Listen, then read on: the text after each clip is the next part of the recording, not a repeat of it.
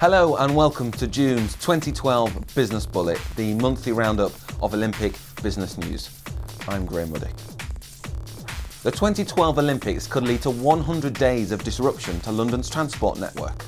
Plans unveiled by the organisers and Transport for London to ease congestion for Olympic participants include road closures and traffic restrictions running from late June 2012 until mid-September. Motorists and cyclists face £200 fines if they use dedicated game lanes during the Olympics.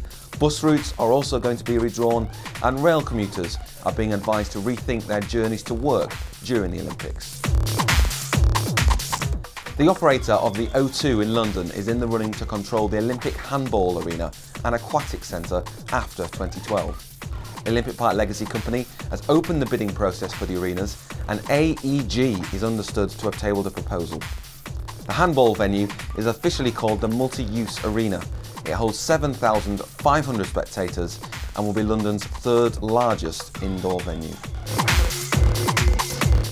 And finally this month, international retailers are battling it out to find new flagship shops in London before next year's Olympics. American fashion retailers such as Forever 21 are already planning to open new stores on Oxford Street this year, but new research from property agent Colliers International suggests even more are targeting the capital. Rob Fay at Colliers said the boost in tourism and publicity from the Olympics will help London to further outperform the rest of the UK. That's it for this month.